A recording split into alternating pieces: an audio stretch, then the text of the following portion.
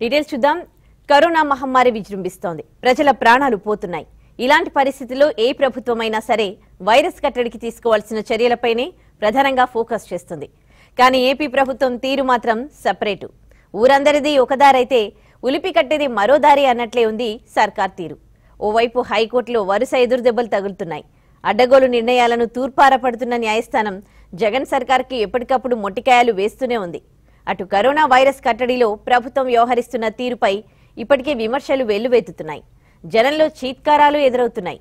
అయినా జగన్ ప్రభుత్వం మాత్రం లేనిపోని వివాదాలు సృష్టిస్తూ అడ్డంగా బుక్ అవుతోంది. ఏదో చేద్దామనుకుని బొక్కబోర్లా పడ్డ ఏటు విజయసాయిరెడ్డి ఉదంతమే.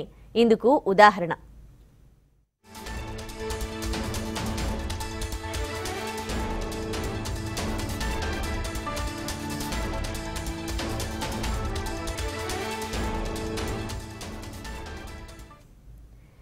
నిమ్మగడ్డ రమేష్ కుమార్ పై వేటు ఏపీలో సృష్టించిన దుమారం అంతా ఇంత కాదు. ఈ అంశంలో ఇప్పటికే చేయాల్సిందంతా చేసింది ప్రభుత్వం. అయినా సర్కార్కు కసి తీరనట్లుంది. అందుకే మరో కొత్త డ్రామాకు తెరతీసింది సీఎం జగన్మోహన్ రెడ్డితో పలు కేసుల్లో ఏటూగా ఉండడంతో పాటు ప్రస్తుతం ప్రభుత్వంలోనూ నంబర్ టూగా వ్యవహరిస్తున్న విజయసాయిరెడ్డి ఈ కొత్త ఎపిసోడ్కు కథ స్క్రీన్ ప్లే దర్శకత్వ పర్యవేక్షణ చేశారు. అయితే సినిమా మాత్రం అటర్ ఫ్లాప్ అయింది. మరోసారి అడ్డంగా బుక్ అయ్యారు.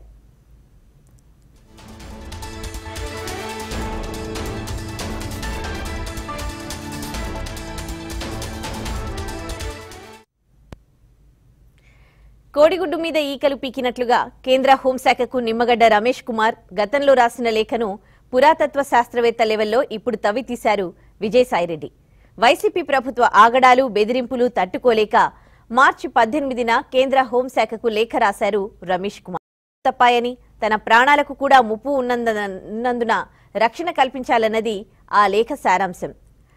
An empty mind is devil's workshop అన్నట్లు దాదాపు నెల తర్వాత ఏటు విజయసాయిరెడ్డి కన్ను ఆ లేఖపై పడింది.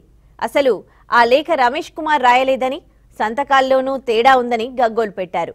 వెంటనే డీజీపీకి ఓ లేఖ రాశారు. రమేష్ కుమార్ కేంద్రానికి రాసిన లేఖలో పెట్టిన సంతకానికి గతంలో ఆయన చేసిన ఎన్నికల ప్రకటనలో చేసిన సంతకానికి తేడా ఉందన్నారు. ఈ రెండింటిపైన విచారణ చేయాలన్నారు. రమేష్ కుమార్ సంతకాన్ని టీడీపీ నేతలు వర్ల రామయ్య కనకమేడల టీడీ జనార్దన్ ఫోర్జరీ చేశారని ఇదంతా ఆయనకు తెలిసే జరిగిందని డీజీపీకి రాసిన లేఖలో పేర్కొన్నారు. అంతేకాదు రమేష్ కుమార్ లేఖను ఫోరెన్సిక్ ల్యాబ్కు పంపి విశ్లేషించాలన్నారు. నివేదిక ఆధారంగా బాధ్యులపై క్రిమినల్ చర్యలు తీసుకోవాలన్నారు విజయసాయిరెడ్డి. అయితే ఈ ఆరోపణలపై మండిపడ్డారు టీడీపీ నేతలు. ప్రభుత్వ వైఫల్యాలను కాపిపుచ్చుకునేందుకే కొత్త డ్రామాకు తెరతీశారని ఫైర్ అయ్యారు.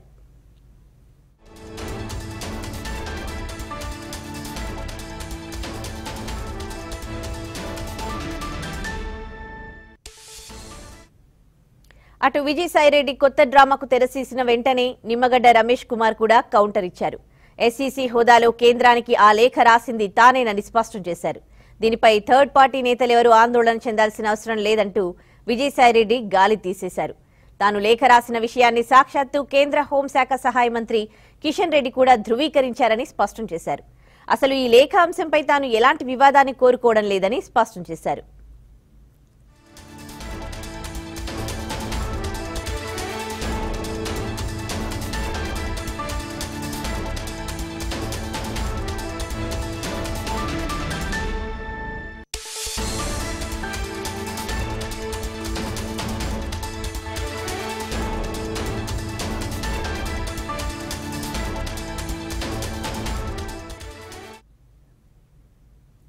ఎప్పుడో రాసిన లేఖను తెరపైకి తెచ్చి కొత్త వివాదాన్ని సృష్టించాలనుకుని అడ్డంగా బుక్ అయ్యారు ఏటు విజయసాయిరెడ్డి.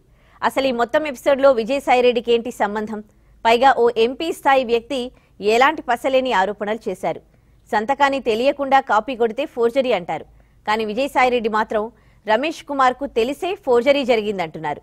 ఇందులోని లాజిక్ ఏంటో ఆయనకే తెలియాలి. అసలు స్థానిక సంస్థల ఎన్నికల వాయిదాతో జగన్ ప్రభుత్వానికి మైండ్ బ్లాంక్ అయిందన్న విమర్శలున్నాయి. అందుకే రమేష్ కుమార్ పై ఆ రేంజ్లో కక్ష తీర్చుకుంటున్నారని ఆరోపిస్తున్నాయి విపక్షాలు. ఇప్పటికే రాత్రికి రాత్రే అడ్డగోలు ఆర్డినెన్సులు సీక్రెట్ జీవోలు జారీ చేసి ఎస్సీసీ పదవీ కాలాన్ని కుదించారు. రమేష్ కుమార్ను పదవిలోంచి తప్పించి కొత్త ఎస్సీసీని నియమించారు.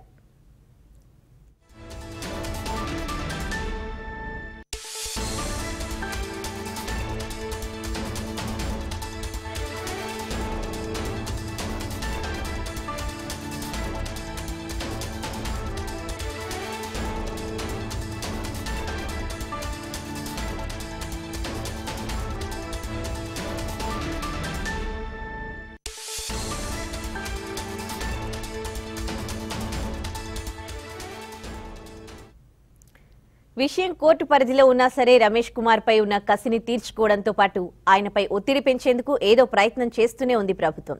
ఆ ఆపరేషన్ రమేష్ కుమార్లో భాగమే తాజాగా వీసారెడ్డి తెరపైకి తెచ్చిన ఈ లేఖ ఎపిసోడ్ అంటున్నాయి విపక్షాలు.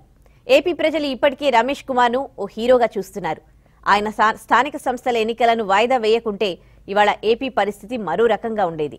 రాష్ట్రంలో ఇటలీ కన్నా దారుణమైన పరిస్థితి ఉండేదని నిపుణులు చెబుతున్నారు అంటే తన నిర్ణయంతో రమేష్ కుమార్ ఏపీ ప్రజలతో పాటు దేశం నెత్తిన పాలు పోశాడనే చెప్పొచ్చు. రమేష్ కుమార్కు వచ్చిన ఈ ఇమేజ్ను తట్టుకోలేకే జగన్ అండ్ బ్యాచ్ ఇంకా ఎదురుదాడి తీవ్రం చేశాయన్నది విపక్షాల వాదన.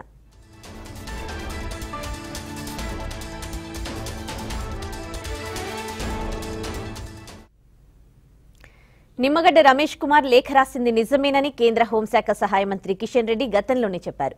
ఆయన ఏమన్నారు? ఓసారి చూద్దాం. లేఖ వచ్చింది. మేము మా హోమ్ సెక్రటరీకి వచ్చింది అది రాశాడు ఆయన. మా హోమ్ సెక్రటరీ అక్కడ ఉండేటువంటి చీఫ్ సెక్రటరీతో మాట్లాడాడు. ఎప్పటికప్పుడు ఆ యొక్క వివరాలను కూడా నేను కూడా తెలుసుకుంటున్నాను. ఆయన ఇప్పుడు హైదరాబాద్లో ఉన్నాడు. ఆయనకు సెక్యూరిటీ ఉంది ఇప్పుడు. అక్కడ ఉండేటువంటి ప్రభుత్వ సెక్యూరిటీ ఉంది. ఎప్పుడు ఆయన ఆంధ్రప్రదేశ్కి వెళ్ళినా కూడా పూర్తి స్థాయి సెక్యూరిటీ ప్రభుత్వం ఇవ్వాలని చీఫ్ సెక్రటరీని కోరడం జరిగింది. అవసరమైతే ఈరోజు లిఖితపూర్వకంగా కూడా మేము ఆంధ్రప్రదేశ్ యొక్క ప్రభుత్వ ప్రధాన కార్యదర్శికి లిఖితపూర్వమైన ఉత్తర్వులు కూడా ఇస్తాము. కాబట్టి ఇది ఇది స్టేట్ గవర్నమెంట్ సంబంధించినటువంటి ఇంటర్నల్ విషయం. కానీ ఖచ్చితంగా ఏ ప్రభుత్వ అధికారికి కానీ ఉద్యోగ విధి నిర్వహణ చేస్తున్నప్పుడు ఎవరు భయపెట్టించడం కానీ అది మంచిది కాదు అనేటువంటి విషయం చాలా స్పష్టంగా